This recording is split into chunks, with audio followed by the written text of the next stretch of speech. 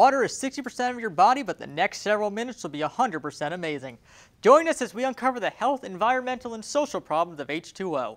Welcome to Operation Water, where we as a group of student scientists are on a mission to teach DC about water. In this week's episode, we discuss boating and how it affects the surrounding ecosystems.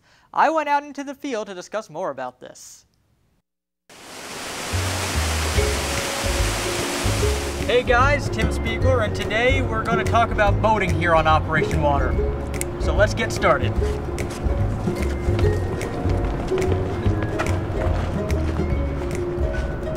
What's happening is that as boats move through the water, they're creating waves. The bigger the boat, the bigger the wave. And as these waves crash up against the shore, they're causing more erosion than would happen naturally. Both the force of these waves and the sediments that are going into the water from the eroded materials can cause damage to the ecosystems. So what does this mean? Well, the force of the waves that are being created by the boats that are in the rivers can harm plants that are on the outside, as well as make it so that the soil can't bear new plants. The force of these waves can destroy the nests that fish live in, as well as disturb the local waterfowl. Sediments that are getting put into the water due to the increased erosion can make it so that less light reaches the bottom, which can kill off plants that exist under there, as well as disturb the feeding of species like plankton. And the sediment can disrupt fish respiration due to them sucking them in while they're trying to breathe. It's important to remember that this is all just one part of the story, so before you make your opinion, do your own research. But that's the end of this episode, so until next time, we'll see you here on Operation Water. Welcome back. Today we're going to play an environmental game. Joining me today are contestants for a show that I like to call Fact or False.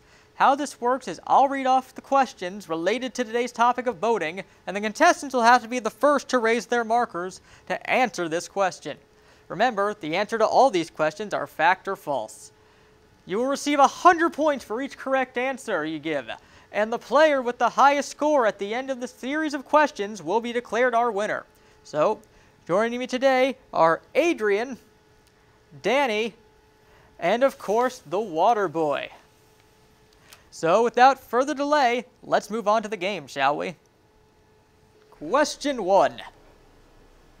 The majority of shoreline erosion is attributed to recreational boating. Water Boy. Nope, sorry, question is not Shay, whatever. Danny. Uh, that's fact, Tim. That is indeed a fact. Yes. Okay, on to question two. A shoreline made of sand will actually erode slower than one made of clay. Adrian, I would say that that is false. that is indeed false. It will go faster. Nice. Nice. Question three.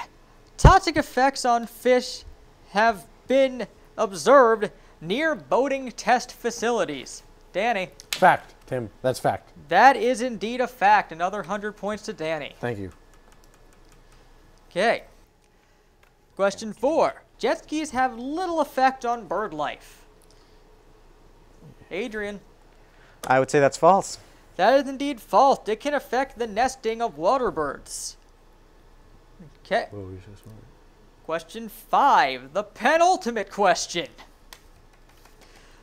Boat waves can reach a height of 15 to 20 inches, which is an equivalent to a storm-induced wave. Waterboy.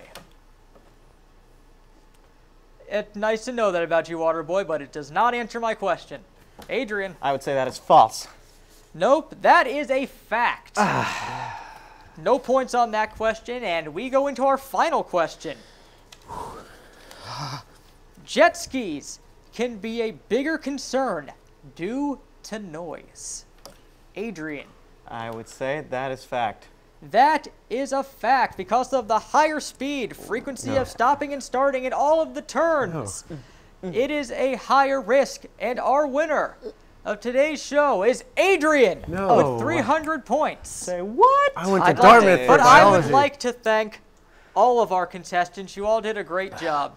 And I would like to thank you for playing. So, As the tide leaves the shore, it's time for us to part, and we'll see you next week on Operation Water.